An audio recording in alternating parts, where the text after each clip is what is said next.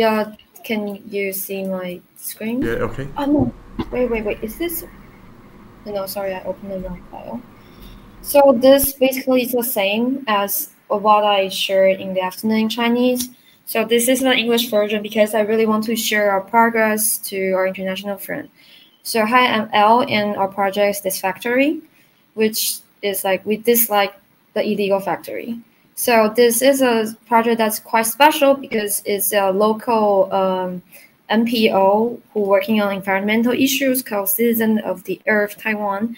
They come they came to g0v Hackathon and proposed that they want to build an online system or online service that can help the citizens to report illegal factories that are threatening the environment and resident safety. Like on this photo, it's um, uh, an illegal factory on fire, but because there's no um, safety measure or there's no way to uh, retrieve water within 200 meters, so it polluted the uh, whole farmland.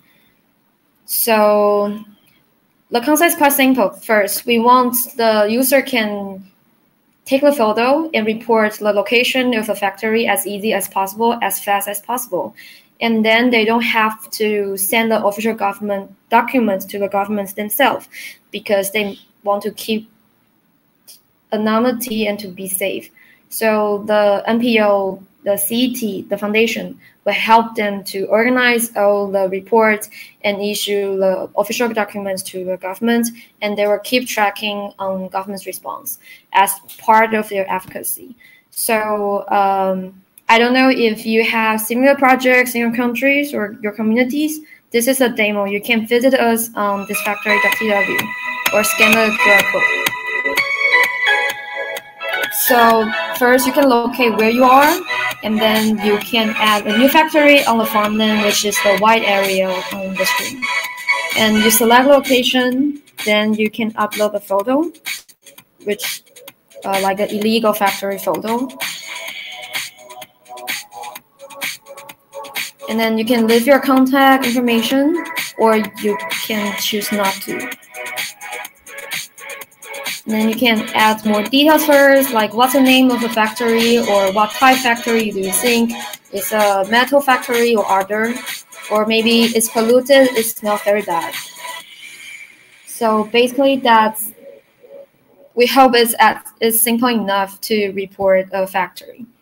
So this is our demo. How many minutes have left? Just quickly say that I'm also a product manager in this project and this project is quite complicated. So in the past, probably it's not good for g0v community to collaborate with NGO in the project like this. So we try very hard to make the collaboration between open source community and advocacy NGO possible. And this is our timeline. So to put in short, we spent around three months to organize a team that can work together and decide the technical framework and we managed to deliver our product before the press release to push the government for their agenda. And we are still continue to develop our products for the next milestone.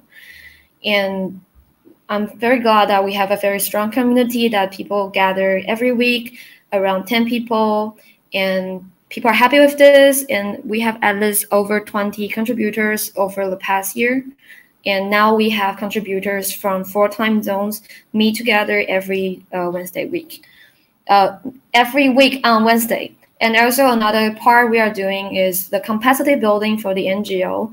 So first is learn the new digital tools, and then they can know how to communicate with uh, developers and designers, like what do they need, what website they want to look like, and also introduce open source culture and collaboration, like how to do things in open source way.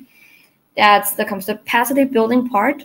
And now within one month, we have quite good report records, but we want to optimize our interface and do more to lower the barrier for reporting the illegal factory and push government more on uh, removing those illegal factory. So I really want to invite everyone, no matter what project you're working on, can share your product development stories with us. That's also one thing I want to learn. So thank you for listening.